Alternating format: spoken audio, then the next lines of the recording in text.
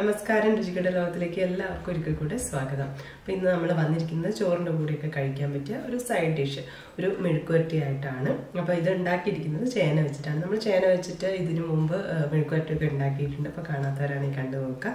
അപ്പോൾ നമുക്ക് ഈ ടേസ്റ്റി ആയിട്ടുള്ള ചേന മെഴുക്കുവരട്ടി എങ്ങനെയാണ് ഉണ്ടാക്കുന്നത് കാണാം.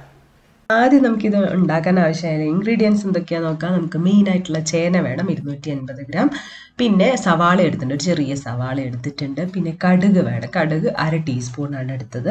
പിന്നെ ഉഴുന്നും നമ്മൾ വറുത്തുന്നുണ്ട് അതും അര ടീസ്പൂണാണ് എടുത്തിട്ടുള്ളത്. പിന്നെ എരിവിന് വേണ്ടി നമ്മൾ ചില്ലി ഫ്ലേക്സ് യൂസ് ചെയ്യുന്നുണ്ട്. അതൊരു അര ടീസ്പൂൺ എടുത്ത് വെച്ചിട്ടുണ്ട്. പിന്നെ നമുക്ക് മുളക് പൊടി വേണം. മുളക് പൊടി കാശ്മീരി മുളക് പൊടിയാണ് ഒരു കളറിനൊക്കെ വേണ്ടിയിട്ട് ഒരു കാൽ ടീസ്പൂൺ എടുത്തിട്ടുണ്ട്. അതുപോലെ തന്നെ മഞ്ഞൾപ്പൊടി ഒരു കാൽ ടീസ്പൂൺ എടുത്തിട്ടുണ്ട്. പിന്നെ നമ്മൾ ഇതിൽ നിറയെ തേങ്ങാക്കൊത്ത് ചേർക്കുന്നുണ്ട് നമുക്ക് ആവശ്യത്തിന്. പിന്നെ അതുപോലെ കറിവേപ്പില വേണം. പിന്നെ നമ്മൾ ഇതിന് വെളിച്ചെണ്ണ ഉപയോഗിക്കുന്നതാണ് കൂടുതൽ നല്ലത്. അപ്പം നമ്മൾ ആദ്യം ഈ ചേനയൊന്ന് കട്ട് ചെയ്ത് കൊടുക്കാൻ പോവാണ്. ചേന കട്ട് ചെയ്ത് വെച്ചിട്ടുണ്ട്. നീളത്തിലാണ് കട്ട് ചെയ്തത്. അധികം ഇങ്ങനെ കട്ടിയൊന്നും ഇല്ലാതെ അരിയുന്നതാണ് നല്ലത്. കാരണം വെന്ത് കിട്ടാൻ എളുപ്പമായിരിക്കും പാൻ വെച്ചിട്ടുണ്ട്. ഇതിലേക്ക് നമ്മൾ വെളിച്ചെണ്ണ തന്നെയാണ് ഒഴിച്ചു കൊടുക്കുന്നത്. അപ്പം നമ്മൾ വെള്ളം ഒന്നും ഒഴിക്കാതെയാണ് ചേന വേവിക്കുന്നത്. അതുകൊണ്ട് തന്നെ കുറച്ചധികം വെളിച്ചെണ്ണ ഉപയോഗിക്കുകയാണെങ്കിൽ നല്ലതാണ്. അപ്പോൾ ചൂടായി വരുമ്പോൾ നമുക്ക് കടുക് ഇട്ട് കൊടുക്കാം.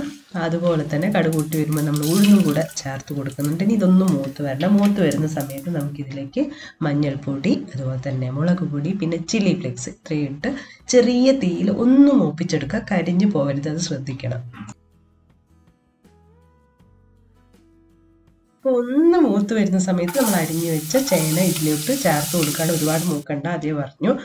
എന്നിട്ട് ആവശ്യമായിട്ടുള്ള ഉപ്പ് കൂടെ നമുക്ക് ചേർത്ത് കൊടുക്കാം.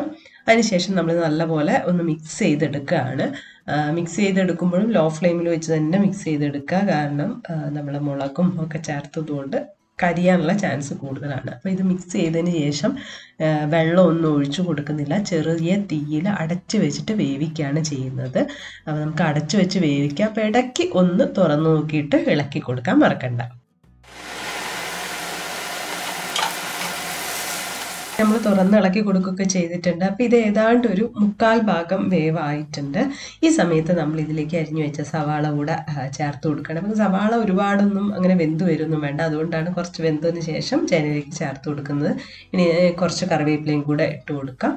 ഇനി നല്ലപോലെ ഒന്ന് മിക്സ് ചെയ്തെടുക്കാം. അതിനുശേഷം ഒന്ന് സവാള ഒന്ന് വാടി വരാൻ വേണ്ടിയിട്ട് ഒന്നുകൂടെ നമുക്ക് അടച്ചു വെച്ചിട്ടൊന്ന് ചെറുതിയിൽ വേവിക്കാം. കുറച്ച് സമയം മാത്രം മതി. അപ്പോൾ ഇതാ സവാളയും ചേനയൊക്കെ നല്ല ഒരുമിച്ച് കൂടി വന്നിട്ട് ഇത് തന്നെ നല്ലൊരു ടേസ്റ്റാണ് ഇതിലേക്ക് ഇനി നമ്മൾ തേങ്ങാക്കൊത്ത് ചേർക്കാൻ പോവാണ്. ഒന്ന് മിക്സ് ചെയ്ത് കൊടുക്കാം. അതിനുശേഷം നമുക്ക് തേങ്ങാക്കൊത്ത് ചേർത്ത് കൊടുക്കാം.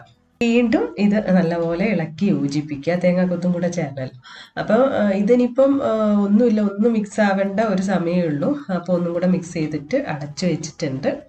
തുറന്നു നോക്കുമ്പോൾ ഇതാ സംഭവം റെഡി ആയിട്ടുണ്ട്. എല്ലാം കൂടെ ഇങ്ങനെ ചേർന്ന് മസാലയും അതുപോലെ സവാളയും ചേനയും പിന്നെ തേങ്ങാക്കൊത്തും എല്ലാം കൂടെ ചേർന്ന് വന്നിട്ടുണ്ട്. അപ്പോൾ ഇനി ഇത് നമുക്ക് സെർവ് ചെയ്യാവുന്നതേ ഉള്ളൂ. ചോറിന്റെ കൂടെയോ കഞ്ഞിയുടെ കൂടെയോ ഒക്കെ നല്ല കോമ്പിനേഷനാണ് പിന്നെ അതുപോലെ തന്നെ ചപ്പാത്തിയുടെ കൂടെ റോൾ ചെയ്തിട്ടും കഴിക്കാൻ പറ്റും കേട്ടോ. അപ്പോൾ ചേനയാണെന്ന് നമുക്ക് ശരിക്കും പറഞ്ഞാൽ തോന്നൂല. നല്ല ഒരു ടേസ്റ്റാണ് എല്ലാവരും ട്രൈ ചെയ്ത് നോക്കുക. ട്രൈ ചെയ്ത് നോക്കി നിങ്ങളുടെ അഭിപ്രായങ്ങളൊക്കെ അറിയിക്കുക. പുതിയൊരു വീഡിയോ ആയി കാണുന്നവരെ ബൈ